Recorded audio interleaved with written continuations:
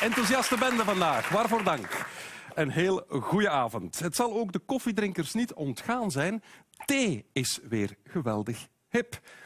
Theewinkels en ja, zo'n George Clooney-achtige theemachine. Allemaal om de theeliefhebber te verwennen, want dat is trendy. Wel, onder het motto, als u het dan toch en masse begint te drinken, dan kan u maar beter goede thee drinken. Daarom de grote groene thee vergelijkingstest met, juist, Tatjana. Dit is Lapsang Souchong, een lekkere gerookte thee. Ik drink Yinzen witte thee uit Fujian. Mijn favoriete thee is Dark Feeling, zwarte thee van de eerste pluk. Dit is een absolute topthee. Het is een Japanse genmaicha, een groene senchai met geroosterde rijst. Joachim, welke thee ben jij nu aan het zetten?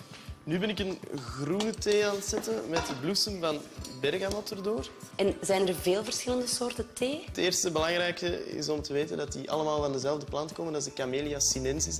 Eigenlijk plukt men uh, de topblaadjes. Het verschil tussen een groene en een zwarte thee is dat een zwarte thee uh, gefermenteerd is. Dan heb je witte thee, waar de, de topjes van je thee, de heel jonge blaadjes uh, van je theeplant zijn. En dat bewerkt men ook bijna niet. En waarom is thee nu zo hip? Ik denk dat vooral is omdat thee erg gezond is. Er zijn veel jonge mensen die op zoek gaan naar groene thee, gezonde thee. je hebt de fashionistas die, die witte thee drinken voor hun, voor hun huid en voor hun tanden mooi wit te houden. Je hebt ook de topchefs die meer en meer interesse tonen in, in, in thee.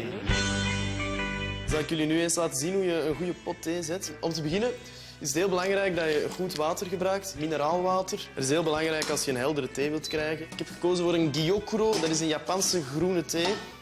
Ga een liter thee zetten, dus ik gebruik ongeveer 5 gram thee. Dan kunnen we onze thee opschenken. Heel belangrijk, geen kokend water gebruiken. Dat gaat uw blaadjes helemaal verschroeien. En nu moet je even wachten, laten we die trekken. Voor deze thee zou ik ongeveer drie minuutjes doen. Je kan hier gerust nog, nog drie andere potten mee zetten als je wil. Een perfect gezet kopje thee. Het hipste drankje van het moment.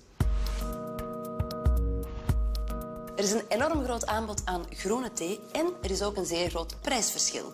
Voor een kopje groene thee van Aldi betaal je 3 eurocent per kopje. Voor een kopje groene sencha thee betaal je 9 eurocent per kopje. Dat is evenveel als deze Indonesian Green Tea van Lipton. En als je echt heel speciaal wil doen, kan je een kopje Special Tea van Nestlé zetten. En hiervoor betaal je 37 eurocent per kopje. En heb je ook deze machine nodig. Dat is dus 12 keer meer dan een kopje groene thee van de Aldi. Anne, u bent theemeester. Ik heb hier vier verschillende soorten groene thee. Ze komen allemaal van dezelfde plant, maar verschillen in prijs. Kan u mij uitleggen waarom? Dat heeft natuurlijk met de kwaliteit te maken. Bijvoorbeeld, die blaadjes die zijn vrij groot. Dus voor echte topthees gaan we nooit zo'n grote bladeren gaan plukken. Dan, als ik naar de laatste verpakking hier ga, zie ik Sencha Zhejiang. Zhejiang ligt in China. En sencha is eigenlijk Japanse thee, dus dat klopt eigenlijk ook al niet. Als ik op deze verpakking kijk, zie ik Indonesian sencha. Indonesië heeft geen sencha. In principe, sencha komt uit Japan. Dus als we de verpakking openscheuren, ik ga hier beginnen met het eerste. Ik zie daar heel veel kleine houterige stukjes tussen zitten. Dat is effectief de dust of het stof. Wordt vaak ook van de grond op, opgeveegd. Dan heb je hier de volledige blaadjes. Dat is eigenlijk de eerste kwaliteit.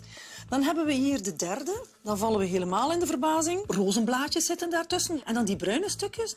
Als ik dat proef, ik proef suiker die chemisch gearomatiseerd is. Echt kauwgom. Mm. Als we nu bij de laatste gaan... De allerduurste. De allerduurste, uiteraard.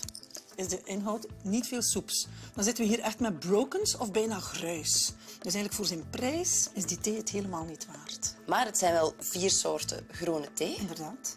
Proeven de mensen nu een verschil? We vragen het aan experten in wording. Welkom op de cursus Thee Sommelier. Zij gaan de vier groene thees proeven. Welke vinden zij nu de beste? Bitter, niet aangenaam. Niet echt zo lekker. Ah, geef ik uh, vier op.